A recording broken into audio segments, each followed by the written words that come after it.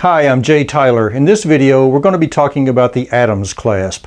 I'm going to show you some variations from the basic design, and then I'm going to show you a simple way to make an Adams clasp using a pair of three-prong pliers.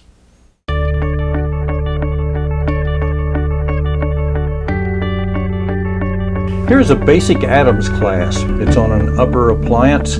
It's also got a ball clasp and a labial bow and a screw. This is a Schwarz appliance, but we're just going to be talking about the Adams clasp. Now the Adams clasp, the active part of it, are these two loops. There's one on the mesial and one on the distal here. And it's got a bar across, which makes it real handy where you can put your finger in there and pull up on the appliance and dislodge it. Now the purpose of any clasp is to hold the posterior portion of the appliance in place. And the Adams clasp uh, is a very good mechanism for that. Uh, the Adams clasp also crosses the occlusal twice on either side of whatever molar it's on, which is a bit of a disadvantage because there's more opportunity to bite on a wire. So the Adams clasp fits into the undercut. Here's the model, and we'll fit that on in a minute. But first, let's talk about what undercut is. Uh, when you have a molar that you're putting a clasp on, if you were to draw a line down parallel with the long axis, you would find a point where you meet the crest of the curvature. And the crest of the curvature is also called the height of contour. Now, undercut occurs just gingival to that. So this would be the undercut area here, and over here, it would be down here. So it depends on the curvature of the tooth where the undercut will occur. And what you want a clasp to do, and the Adams clasp is no exception, you want it to fit just gingival to the height of contour or the crest of curvature. Now if you had it way down here, that means that the clasp would have to spring way out to get in here and you could take a chance on bending that wire because it has to bend so far out to get over the height of contour. But if it's just below, then it just barely bends out and it just snaps right into place. Now, if we take this model that I've bent this Adams clasp on and we were to uh, survey it, I am not going to put it on a surveyor, but I'm just going to draw a, a line here, drag my pencil along this and we'll try, we're trying to identify where the height of contour might be. Okay, so you can see there's going to be some undercut right in here and uh, not much back here, but a little bit. Uh, let me just drag that back here a little bit better. Uh, yeah, there's not much back there. There's more on the mesial than on the distal. So let's do the same thing on this. Okay, so I've got some good undercut there and a little bit back here. Now, when I put this appliance on, and we look at it, we see that these little loops fit right into here and right into here. And let's look and see. And yep, that's that's gingival to the height of contour. Now that line that I drew may not be that accurate. Back here it's not so much, but when you look right down on the tooth, it it's doing the best it can. Uh, now, I've cut out that interdental papilla some to uh, expose uh, just below where the uh, free gingiva is, gotten rid of the free gingiva. And uh, so uh, the clasp will fit in there, go down and get as much undercut as possible. Now, when I look at this one and I snap it down, that's definitely into the undercut. And it's into this little bit of undercut right there. That's ideally where you want it. That's just a little bit maybe too far down. But um, this wire I have is such a good wire. It can withstand that a bit of spring right there.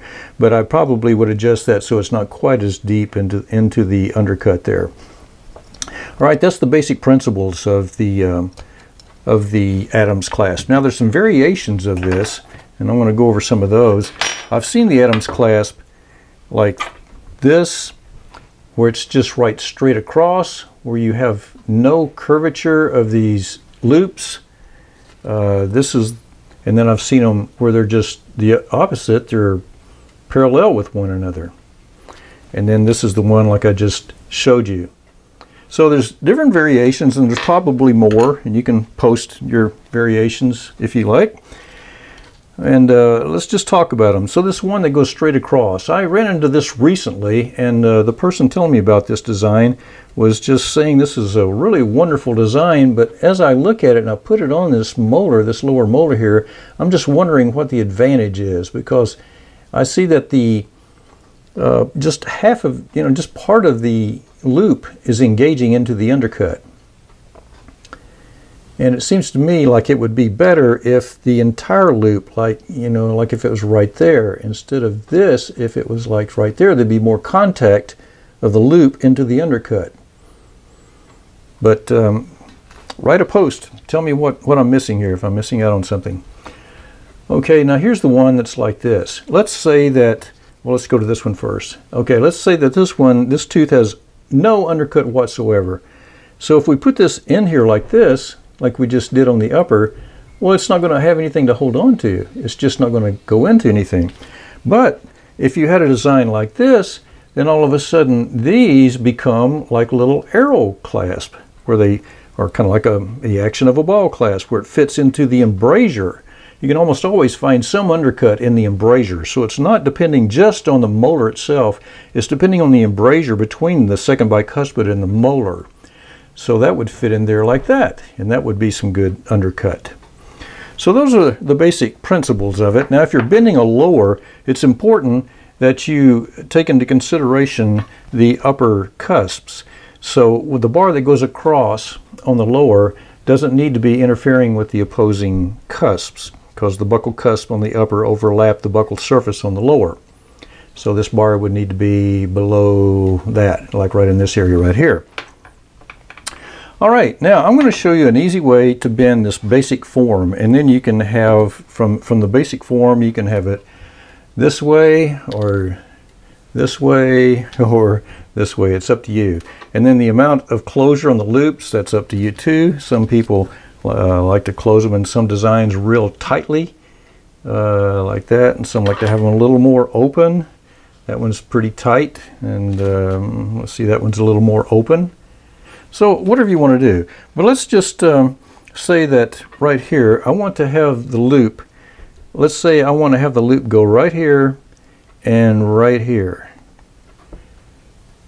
So if I'm going to do that, then uh, let me get my wire here. Now, the wire I use is a nickel chromium wire. It doesn't have a whole lot of elasticity. It's got some. It's fairly springy.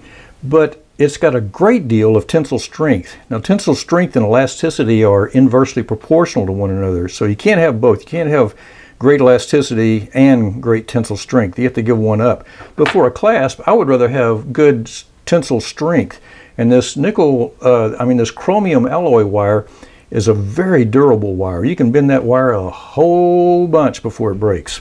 So I like that wire very much for this. It's also malleable, so even when you bite on it some, uh, it's not going to break it. Now I'm going to mark like right here and right here where I want those loops to be. Now, I just take a very simple, easy way to do that is to take a three pair of three-prong pliers and I'll put it on that first mark and I'm going to bend it down, I'm going to bend it back, and then I'm going to flip the plier put it in the loop, and bend down again. So I get this basic form like that. Okay, I'm going to go over here and bend it down, bend it back, flip the pliers, and go back down. So I end up with this right here. Okay, you say, well, that's that's not the Adams clasp. but now I'm going to take my pair of bird beak pliers and I'm going to just grab it right here and I'm going to bend it in and as I do I'm going to bend it up end and up at the same time and what I'm doing is I'm closing that loop a little bit and I'm putting that angle that I want. Now if you're just going straight across you would just bend it straight up. If you're bending it where they're parallel to one another you would bend it all the way around but I'm bending it in and up.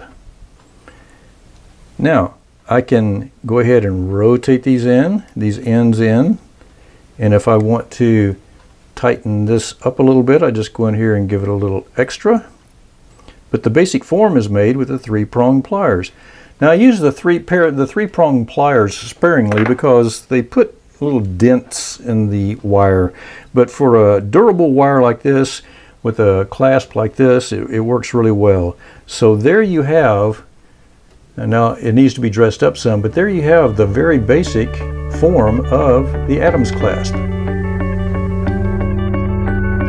So as you can see, it really depends on the anatomy of the tooth what variation of Adams clasp you use. Now if you're new to the field, or just getting started, or you're training someone who is new, I have a DVD program for you. It's called Orthodontic Laboratory Basics. It's designed to teach people how to make basic orthodontic appliances. You can check it out on our website. That's ortholabvideos.com. Thanks for watching. I'll see you next week.